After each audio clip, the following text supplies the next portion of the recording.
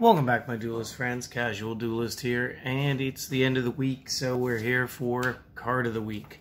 So, I wanted to pick something that, again, works in Speed Duel just as well as it can work in the main game. Uh, and still, of course, have like a relative budget feel.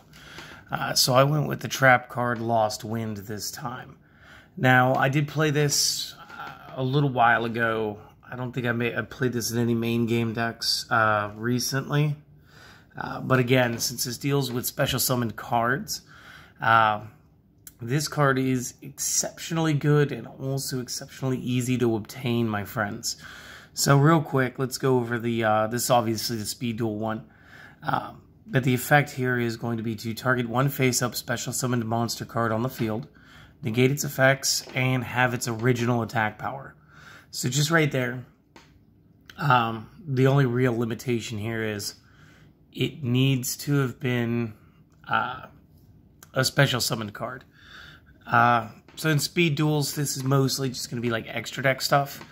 Um, but when you're dealing with the master game, uh, this is every deck, just generically.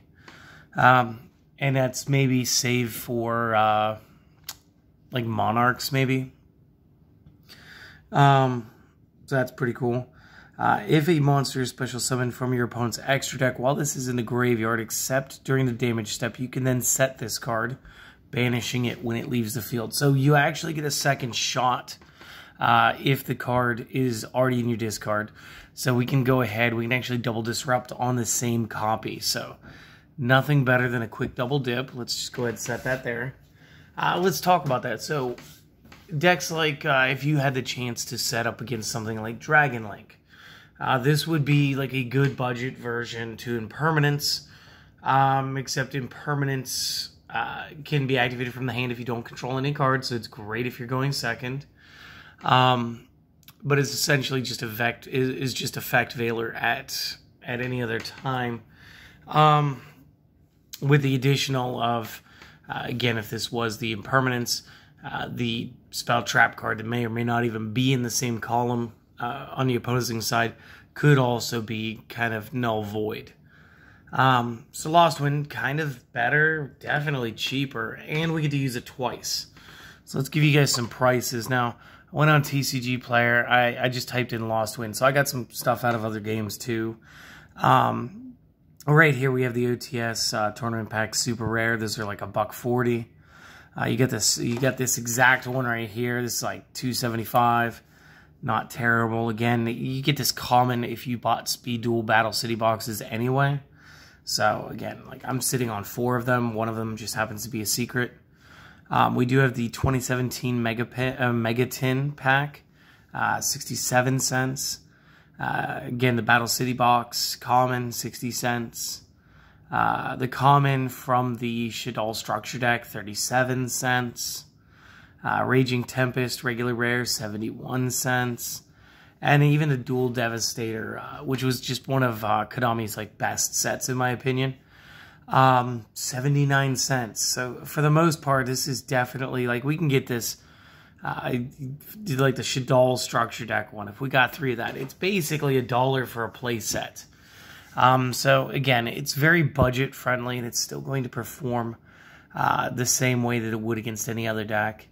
Um, what makes this more fun than I think Impermanence, um, and again, albeit the caveat that we do have to make sure that the opponent's card was special summoned, which again in the master game is so much easier than it is in speed duels.